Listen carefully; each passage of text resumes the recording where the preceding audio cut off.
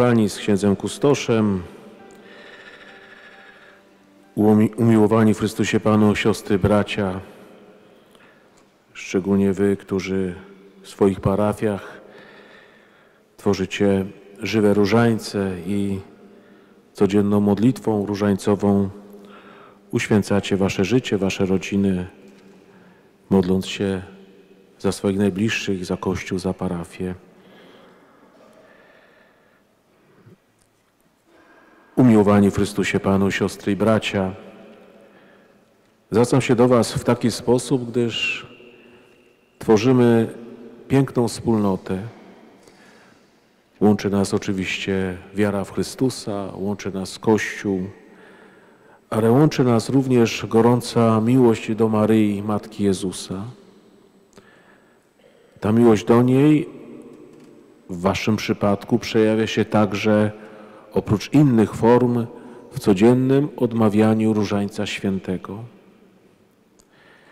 Wiem, że każdy z Was ma przypisaną dziesiątkę do, do konkretnego miesiąca, ale przecież w Waszych małych wspólnotach róż różańcowych tworzycie piękny bukiet całego różańca.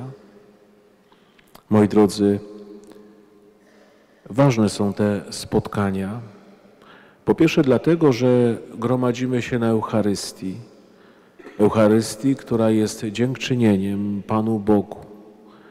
Dziękujemy Mu za piękny świat, za stworzenie, za dzieło odkupienia. Dziękujemy za siebie nawzajem, za każdego z nas. Dziś w sposób szczególny dziękujemy Bogu też za naszą ziemską ojczyznę, za to, że możemy żyć tu, w tym kraju i teraz możemy nazywać się z dumą, że jesteśmy Polakami.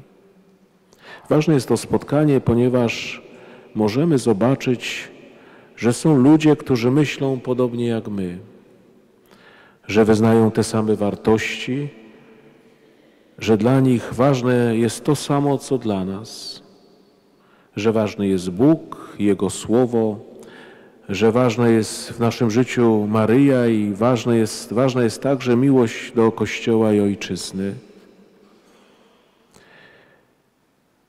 I ważne jest również to nasze dzisiejsze spotkanie. Dla Was w tej formie to już czternasta pielgrzymka tutaj do sanktuarium. Ważne jest to spotkanie, bo jest okazją do umocnienia się na tej drodze, którą obraliście. Jest okazją do umocnienia przez szczególną łaskę Bożą, przez Słowo Boga, jakie do nas kieruje, ale także przez ten wymiar wspólnoty. Dobrze jest zobaczyć, że jest nas trochę więcej niż nam się wydaje. Podziękować Panu Bogu za każdą osobę, która tworzy żywy różaniec w naszych parafiach, w naszych małych czy większych wspólnotach. Dzisiaj pochylamy się nad Bożym Słowem w sposób szczególny. Patronuję, tak jak wspomniałem, w tym dniu święty Hieronim, który umiłował Pismo Święte, pochylał się nad Słowem Bożym, tłumaczył je, aby jeszcze ludzie łatwiej mogli zrozumieć, co Pan Bóg chce w swoim Słowie do nich powiedzieć. I dzisiaj także słyszeli, usłyszeliśmy słowo Jezusa. W tym słowie Jezus mówi także dzisiaj do nas. W tym fragmencie z Ewangelii według świętego Łukasza Pan Jezus przedstawia swoim uczniom wizję przyszłości. Co więcej, prosi ich, aby wzięli sobie mocno do serca Jego słowa, aby nie traktowali tego jak jakieś biadolenie, ale konkretne proroctwo, które się wypełni. Pan Jezus, wypowiadając te słowa, mówi o zdarzeniach, które mają nastąpić w przyszłości. On doskonale znał swoją przyszłość. Wiedział, że przyszedł na świat, aby odkupić ludzi. Wiedział, w jaki okrutny sposób to nastąpi. I tak jak dzisiaj słyszymy Jego słowa, Weźcie wy sobie dobrze do serca te słowa. Syn człowieczy będzie wydany w ręce ludzi. To słowa, które są trudne, ale zarazem bardzo prawdziwe, które dają wiele do myślenia, które są ostrzeżeniem jakie konsekwencje przyniesie w późniejszym czasie relacje z Jezusem.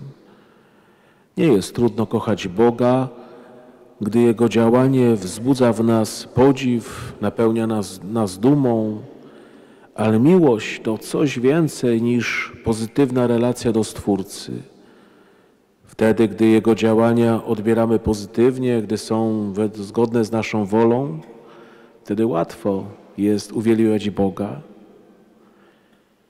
Ale prawdziwa miłość ubiega się o miano zażyłej, przyjaznej relacji między dwoma osobami nie tylko wtedy, gdy obie czynią coś, co się podoba drugiej stronie, nie tylko wtedy, gdy jest dobrze, nie tylko wtedy, gdy jest powiedzmy średnio, ale także wtedy, gdy jest źle lub bardzo źle, gdy jest tak naprawdę pod górkę.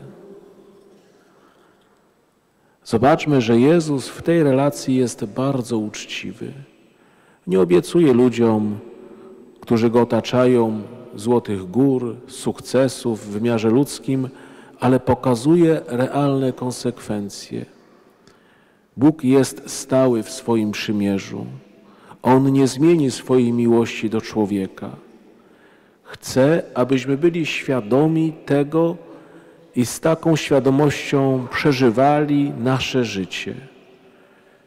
Wtedy nawet słowa trudne, trudne wydarzenia nie będą tak straszne, bo wiemy, że w tej sytuacji nie jesteśmy sami. Jest ktoś, kto nas doskonale rozumie, ktoś, kto dobrowolnie cierpiał po to, abyśmy mogli mieć życie wieczne. I kiedy przeżywamy w życiu trudne chwile, odczuwamy udrękę, strach przed przyszłością, oddajmy się w ręce Jezusa, w ręce Maryi Jego Matki. Powierzmy Mu swoje troski w modlitwie, rozmawiajmy z Bogiem, nie obawiając się zadawania nawet tych trudnych pytań. Uważnie wsłuchujmy się w Słowo Boże. Modlitwa jest niezawodnym środkiem, które zapewnia trwanie przy woli Bożej w każdej chwili życia.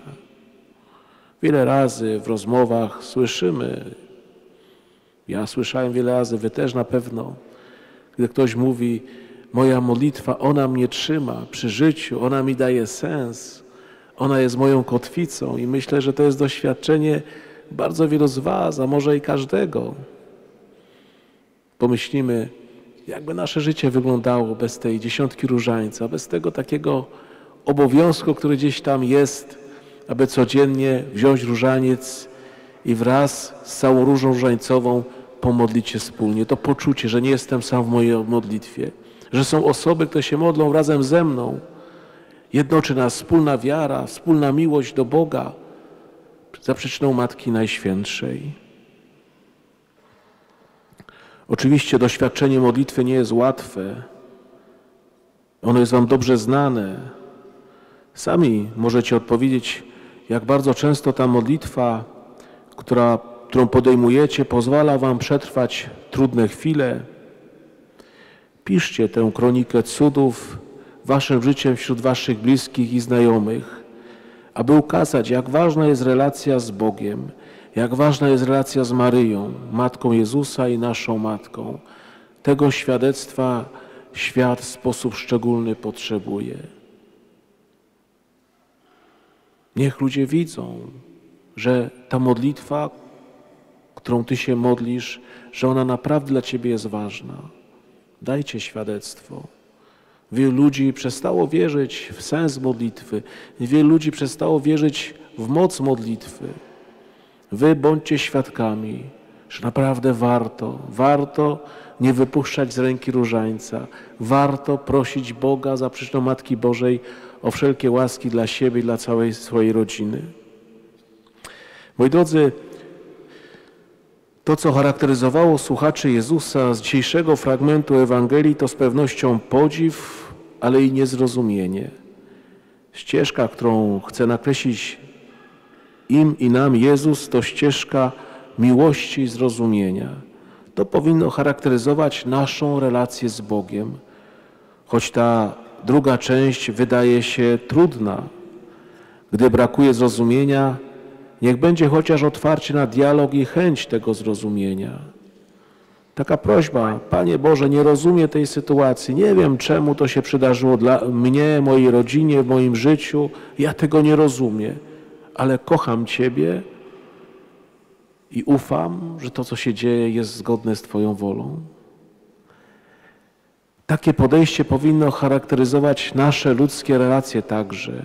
Miłość i zrozumienie, albo przynajmniej próba zrozumienia. Jak wiele konfliktów i podziałów w naszej ojczyźnie ustałoby wówczas, gdyby do głosu zamiast różnic, zamiast eksponowania swojego zdania, zamiast dążenia do zwady, doszły miłość i chęć zrozumienia. I o to się musimy też modlić. Gdy modlimy się za ojczyznę, módlmy się o to nasze wzajemne zrozumienie się jako Polaków, różnych opcji politycznych. Jak wiele starań, inicjatyw, nawet słusznych, upada tylko dlatego, że brakuje miłości i zrozumienia. Ksiądz Jan Twardowski pisał kiedyś tak: czystość ciała, czystość, czystość rąk pana przewodniczącego, czystość idei, czystość śniegu, co płacze z zimna, wody, co chodzi nago, czystość tego, co najprościej i to wszystko psu na budę bez miłości. Tajemnica Bożej miłości dla nas to tajemnica miłości, o której Soren Kigerkat powie, że jest nią to, co nigdy nie będzie czymś innym, to, co się nigdy nie zmienia. I Bóg mówi dzisiaj do Ciebie i do mnie, do każdego z nas, że uzdalnia nasze serca właśnie do takiej miłości. Chce uzdolnić nasze serca do takiej miłości. Wzbudza w Tobie i we mnie pragnienie tej miłości, mimo tego, że może nam się to tylko wydawać pobożnym życzeniem. Bóg już Ci udzielił tej łaski, która może stać się Twoim udziałem, jeśli ją podejmiesz w swojej codzienności. Tak jak podpowiada nam to święty Augustyn, mówiąc, że miłość to wybór drogi miłości i wierność wyborowi. Wierność wyborowi, nie? I to widzimy w życiu małżeńskim. Dwoje ludzi zakochuje się w sobie, jest ta miłość, wielka miłość, decydują się na wspólne życie, a później przychodzi ta wierność temu wyborowi, tej decyzji, że ciągle trzeba o tę miłość walczyć, ciągle trzeba się o tę miłość troszczyć. I to jest taka troska codzienna i modlitwa nam w tym pomaga. Moi drodzy, uświadommy sobie, że naprawdę jesteśmy zdolni do takiej miłości bo do niej uzdalnia nas sam Bóg. W tym miejscu, w jakim jesteśmy, w sanktuarium Bożego Miłosierdzia, prośmy szczególnie o tę miłość miłosierną.